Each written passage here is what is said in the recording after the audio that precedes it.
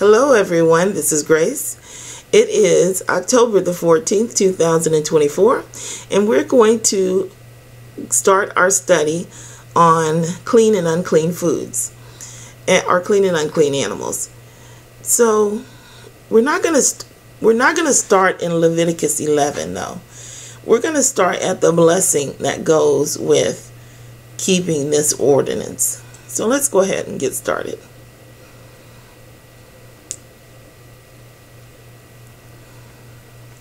And it shall come to pass, and it shall come to pass, if thou shalt hearken diligently unto the voice of the Lord thy God, to observe and do all his commandments, which I command thee this day, that the Lord thy God will set thee on high above all nations of the earth. What we're going to do is we're going to do a comparison. We're going to compare here where he's saying keep the Ten Commandments. And then we're going to compare it to where he says keep the ordinances, which is going to include um, the things that are going to make your life better. The Ten Commandments is for you to know God so that you can choose God and save your soul. The ordinances are for your life here for the most part and to show you how to serve God correctly. Okay? So, this is the commandments that we're looking at now.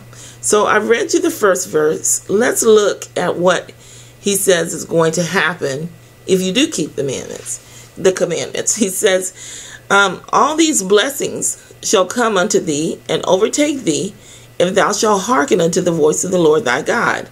Blessed shall thou be in the city, and blessed shall thou be in the field. Blessed shall the fruit of thy shall be the fruit of thy body, and the fruit of thy ground, and the fruit of thy camel, cattle." The increase of thy kind, and the flock of thy sheep. Blessed shall be the basket, thy basket, and thy store. Blessed shalt thou be when thou comest in, and blessed shalt thou be when thou goest out. The Lord shall cause thine enemy to rise up against thee, to be smitten before thy face, and they shall come out against thee one way and flee before thee seven ways. He shall command the blessing upon thee in thy storehouses and in all that thou settest thine hand unto, and he shall bless thee in the land which the Lord thy God giveth thee. And it goes on. he shall establish thee as a holy people unto himself, as he hath sworn unto thee, if thou shalt keep the commandments of the Lord thy God and walk in his ways. And it goes on and on with the blessings. But then it tells you if you disobey, if you disobey, disobedience and disobey are two different words. So I tried to make them into one, but no, it didn't work. so, but if it shall come to pass, if thou wilt not hearken unto the voice of the Lord thy God, to observe and do all his commandments and his statutes, which I command thee this day, and all these curses, then all these curses shall come upon thee and overtake thee. Cursed shalt thou be in the city, and cursed shalt thou be in the field. And it goes on and on. And he's telling you all of these curses are going to come upon you. He puts in here his commandments and statutes. I didn't look that up, but um but the reason why is because you have to have your you have to be saved. Um or he's going to discipline you. So you're going to be blessed if you do this. But if you are not, if you don't do them, then you're going to be cursed because he wants to bring you back in order. He wants to put you back on the right path, not make life cushy for you and, and, pleasant, for you in your sin while you're here on this earth because he knows that this is temporary. Okay, so let's look. Let's go on. We're, so we're looking at a chosen people. And we'll just start off with the first verse. When the Lord thy God shall bring thee into the land whither thou goest to possess it, and has cast out many nations before thee, the Hittites and the Gigashites, Girgashites, and the Amorites and the Canaanites, and the Perizzites, and the Hivites, and the Jebusites, seven nations greater than greater and mightier than thou, etc., etc. And when the Lord has delivered them before thee, thou shalt smite them. We don't need any of that. But anyway, it starts off, he's telling them when you go into the land. And he's given them orders, he's given them ordinances that they should do and that they should keep. And he gets down here and he says, Thou shalt therefore keep the commandments and the statutes and the judgments which I command thee this day to do them. So he includes everything in here. And it says, Wherefore it shall come to pass, if ye hearken unto these judgments, which is what is right.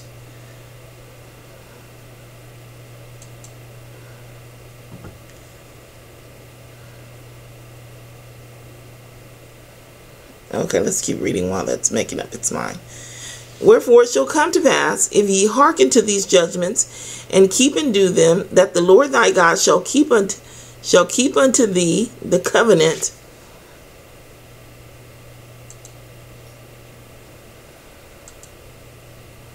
a judgment, justice, justice, or an ordinance.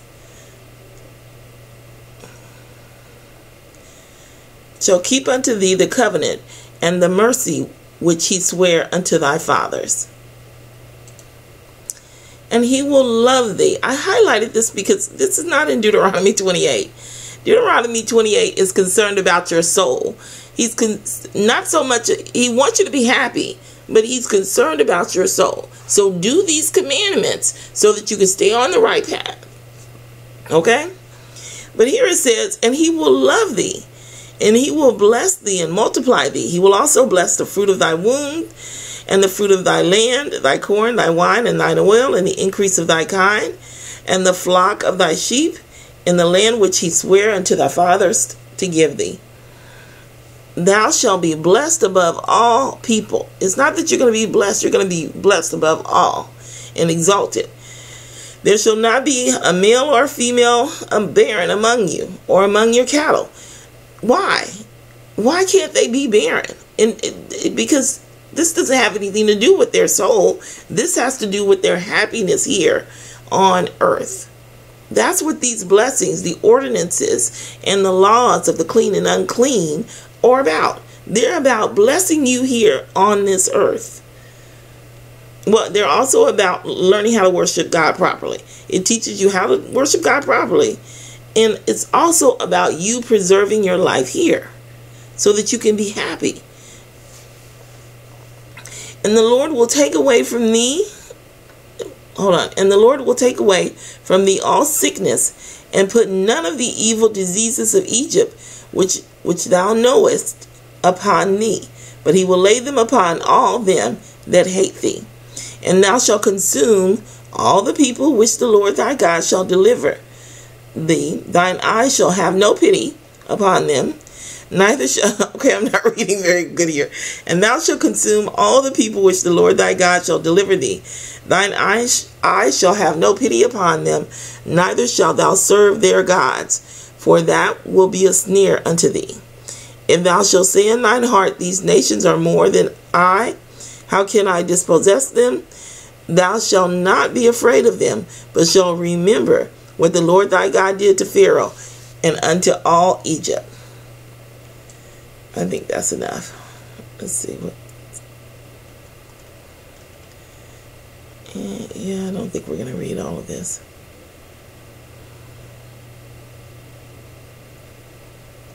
Yeah, because we just we were concerned about the health part, about the fact that they're not going to be barren, they're going to be happy, things such as that.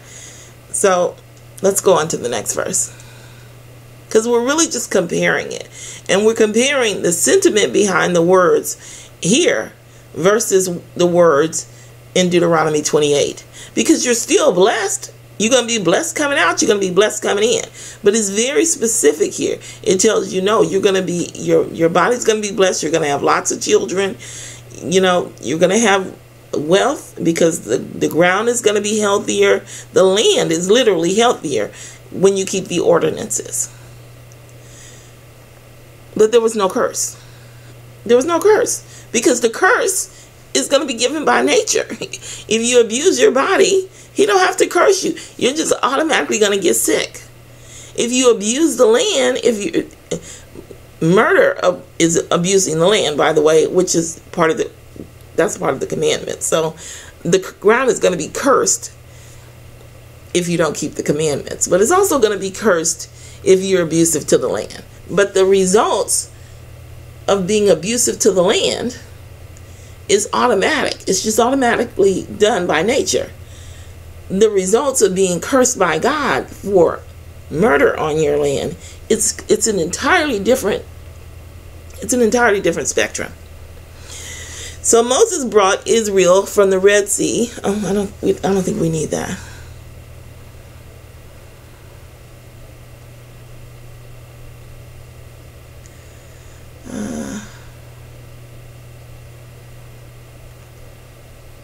Well, let's read it because I can't remember if we need this. So Moses brought Israel from the Red Sea, and they went out into the wilderness of Shur. And they went three days in the wilderness and found no water. And when they came to Marah, they could not drink of the waters of Marah, for they were bitter. Therefore, the name of it was called Marah. Not Mariah, Mara. and the people murmured against Moses, saying, What shall we drink? And he cried unto the Lord, and the Lord showed him a tree which he had cast into the waters, and the waters were made sweet. There he made for them a statute and an ordinance, and there he proved them, and said, If thou wilt diligently hearken to the voice of the Lord thy God, and will do that which is right, which is the same word which was in the previous um, scripture, but it was judgment. And it wasn't this number, though, it's a different number. The, the number was for judgment, but you're judging right from wrong. You do that which is right. And I think in the previous verses it said that what was right was the commandments and the judgment, the commandments, and something else I can't recall and do that which is right in his sight and will give ear to his commandments. It doesn't say keep these commandments or else. It says no, hearken to the commandments. But it doesn't say keep them or else. It's not it's not an order because you're going to be punished by nature if you don't do these things. He doesn't have to push you.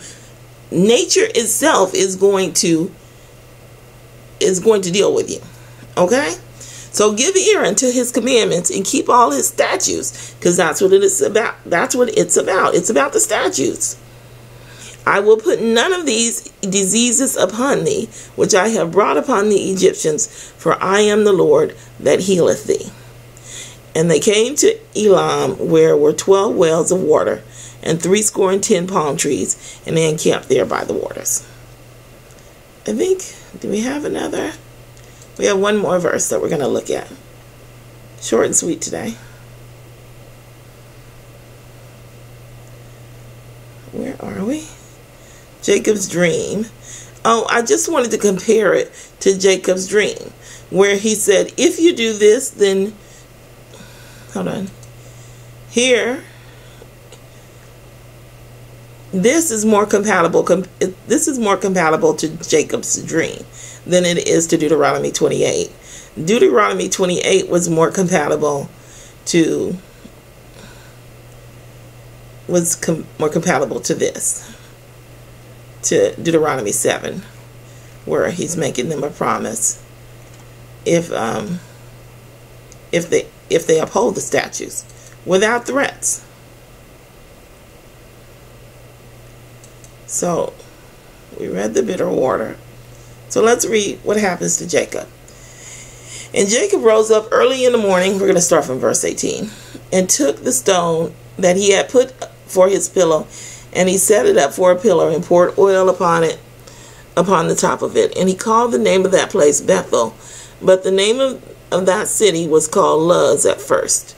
And Jacob vowed a vow, saying, If God, if God will be with me and will keep me in this way, Oh man, let's start that over. And Jacob vowed a vow, saying, If God will be with me and will keep me in this way that I go, and will give me bread to eat and raiment to put on, so that I come again to the, my father's house in peace, then shall the Lord be my God. So, if he will do these things, he's going to be his God. And if he's his God, and this stone which I have set for a pillar shall be God's house, and of all that thou shalt give me, I will surely give the tenth unto thee. So here, again, this is compatible to the previous verse. God is saying, if you do these things, then you will receive this blessing. And here he's saying, if I receive this this blessing, I'm going to do these things. If you will give me and watch over me, then I'm going to do these things.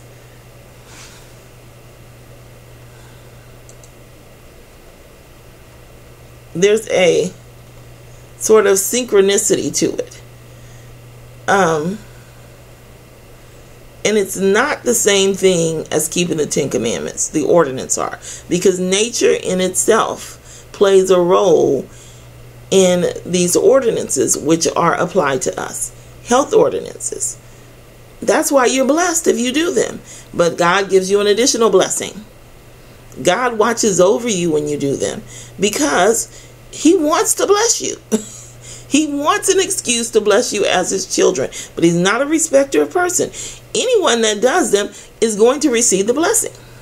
Anyone. Now, they can't control the environment around them because other people around them are going to be going against God. Okay? But the health blessing can still be there. Okay? Now, it doesn't mean, by the way, and I didn't put this in here, I don't want you to think, because there are scriptures for this, it doesn't mean if you're sick that you're cursed. No. There's many, many reasons for that. Sister White herself said that when she prayed to God that, you know, when she was going to become a prophet, that she didn't want to lose her own soul or become vain or something like that. I can't remember exactly what her prayer was. And the Lord said he's going to keep her humble by making her, by keeping her sick, basically. And it made so that she would remain humble. So, I mean, there are circumstances around it. Anyway, I just wanted to point that out. I'm we may still not go directly into Leviticus 11. It just depends, but this is just a preface to the talk, um, to the study. And I guess we'll just wait and see how we proceed from here. All right. Thank you for listening. I will, I will talk with you in the next video.